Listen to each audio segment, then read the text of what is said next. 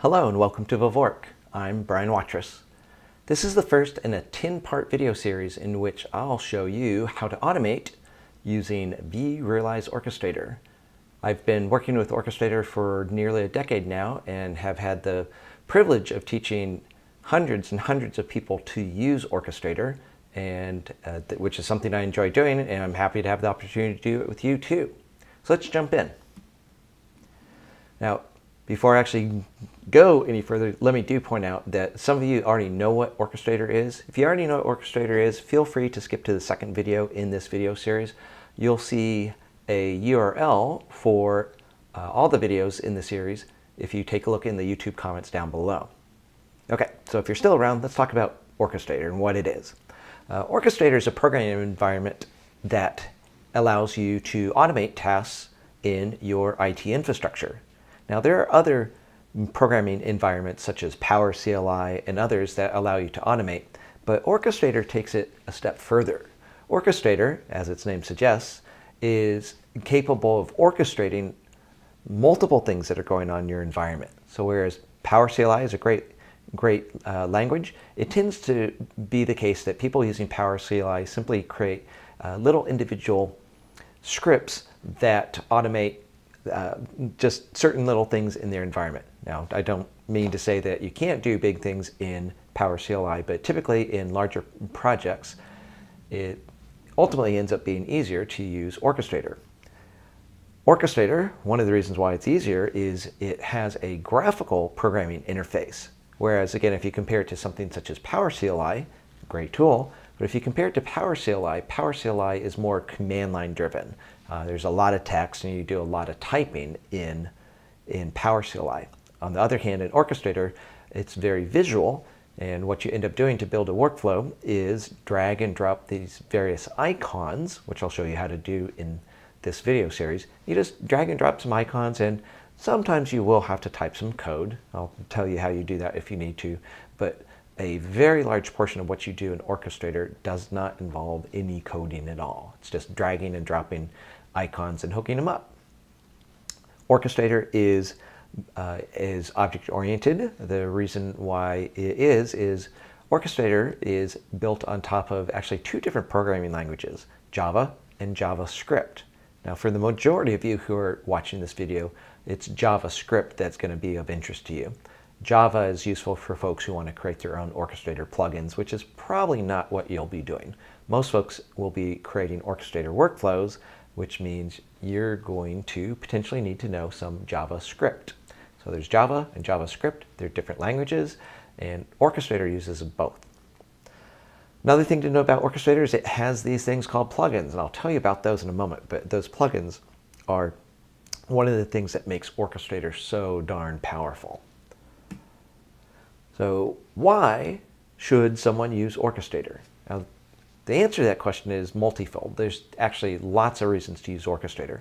What I wanted to do in the next few slides is cover a few common use cases. So for instance, the first question I ask you here on this slide is, um, ask yourself, how long does it take you to create a virtual machine?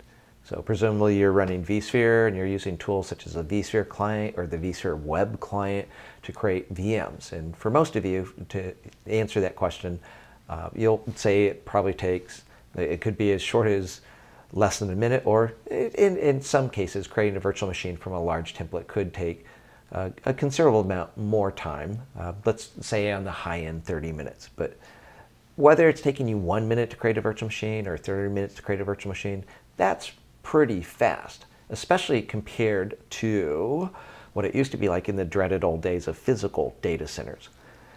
So it's fast, but when you create the virtual machine, you're really typically not done yet. Yes, it just takes a few minutes to create the virtual machine, but the real answer to this question is it depends on all the other stuff that you have to do. How long it takes to create the VM. It's not the creating the VM, it's all the other stuff. So what is that stuff? The other stuff that you have to do is going to vary from one customer to another. So I'm going to rattle off a list here. Maybe some of these will ring a bell with you, maybe they won't.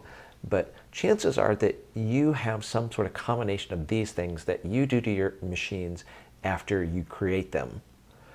For instance, you might need to add the virtual machine to Active Directory. That's going to take some time. You might want to add the newly created virtual machine to your IP address management system. So for instance, maybe you have Infoblox as your IPAM, or maybe you have QIP as your IPAM, or any of the other IPAM solutions out there. Adding the VM to the IPAM is going to take some time. You might have a change management database or an asset management database, and maybe we need to put the VM in there. Again, all these things take time. You might need to install patches. Uh, just because you have a machine and maybe it was installed from a template and has the operating system and applications that you need, there's a good chance that some additional patches need to be installed. The, the, template had all the patches at the time you created the template, but this newly deployed virtual machine that you deployed from a template probably needs patching. That's going to take time. It'll take you time to register your virtual machine with your backup system. It'll take time to perform security hardening on the, on the machine. And a whole slew of other tasks like this are commonly slowing down our customers. So you can have vSphere, you can have tools with vSphere that allow you to create virtual machines very quickly, but if your user is waiting for you to perform actions like this, it's not, from their perspective, it's not taking a couple minutes to get a virtual machine created. It's probably, if you're doing all these things, it could easily take days to get all these things done. So with Orchestrator, we can automate these types of tasks and lots of others. So that's one use case. Um, even if all you're using is vSphere, Orchestrator can definitely help you. Let's take a look at a second use case. Perhaps in addition to vSphere, maybe you're using VMware vRealize Automation.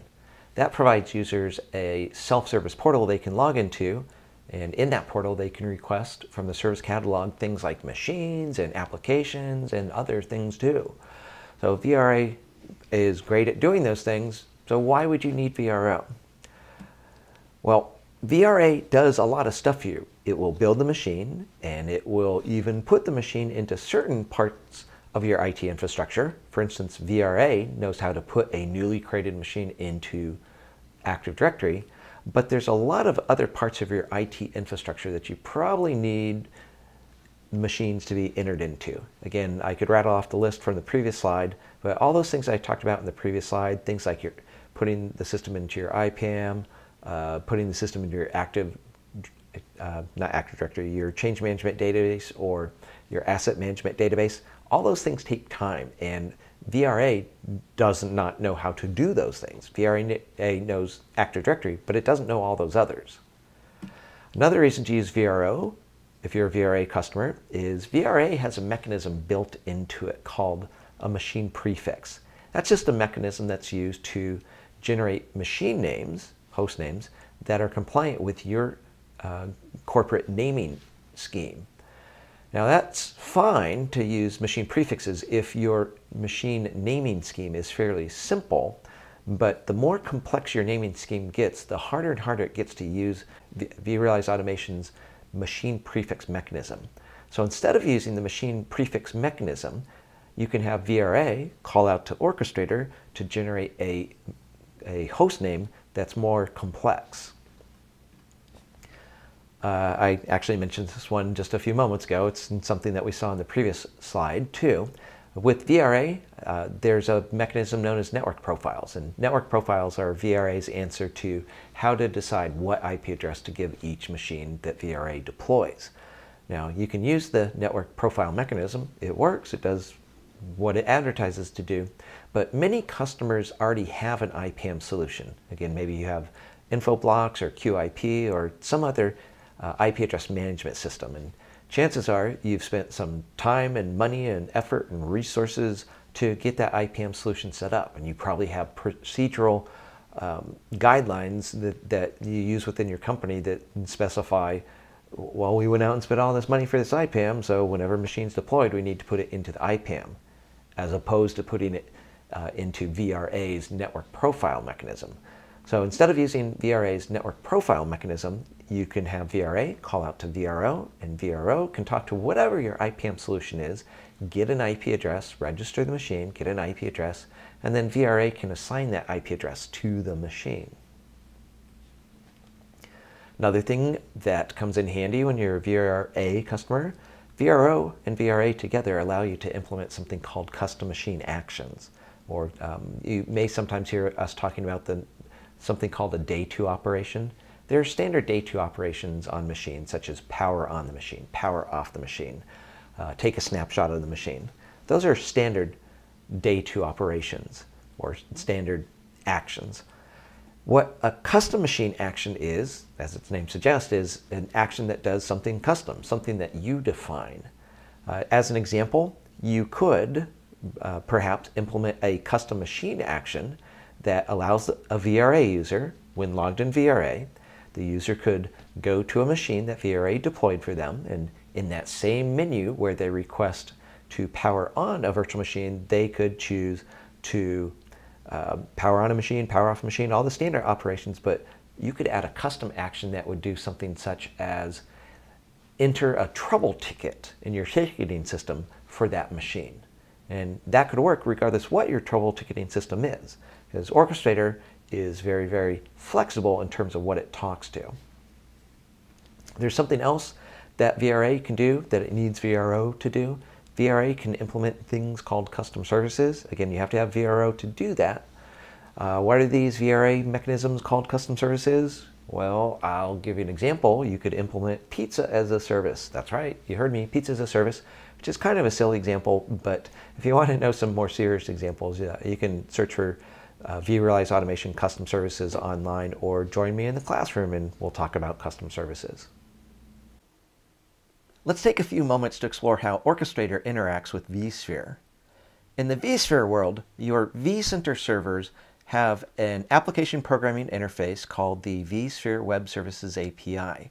That API is used by all sorts of external tools, many of which you already know, such as the vSphere Web Client and the HTML5 client.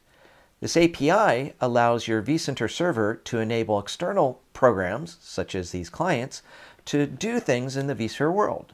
So for instance, in the vSphere web client, when you say, I want to create a virtual machine, what's happening is a message is being sent into your vCenter server through the vSphere Web Services API.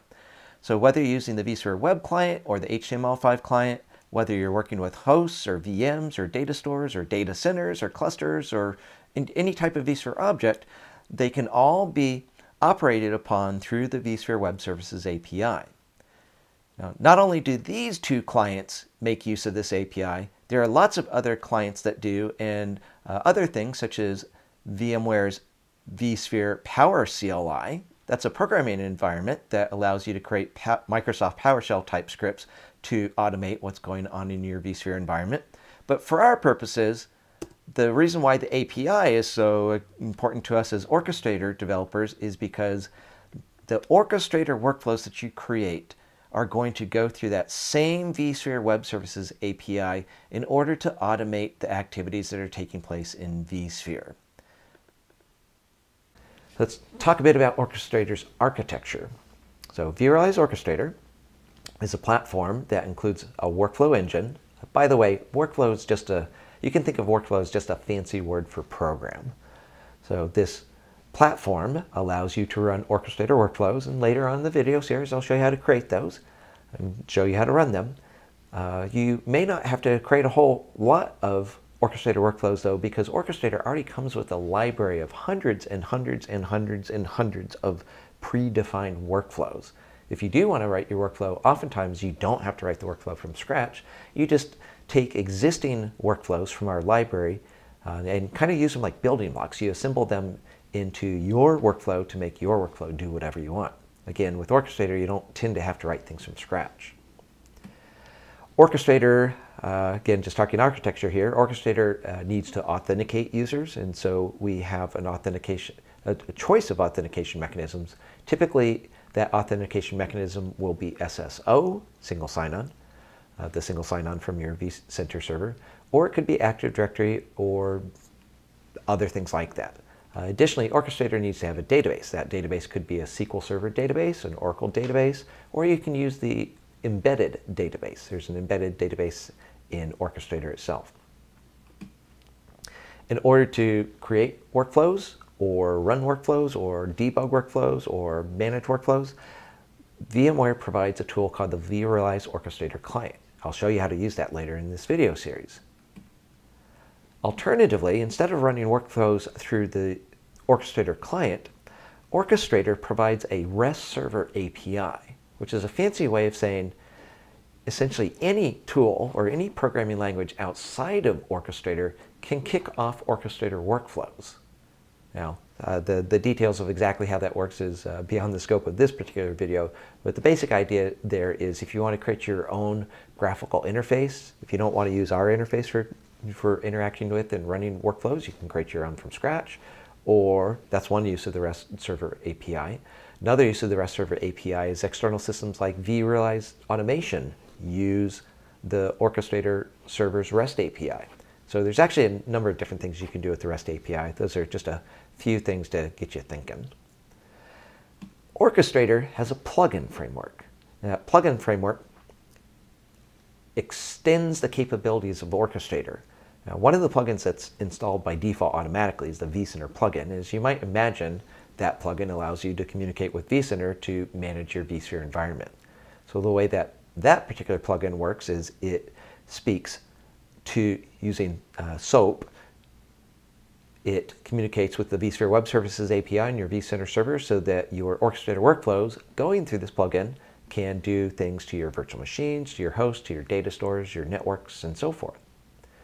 Another plugin that's available is the VRA plugin. So you can create an orchestrator workflow that does things like go into the VRA service catalog, pick a machine, and deploy a machine from a machine blueprint. Another plugin is the REST client plugin. In addition to having an orchest in addition to Orchestrator having a REST server built in, it also, by installing this plugin, allows you to turn Orchestrator into a REST client.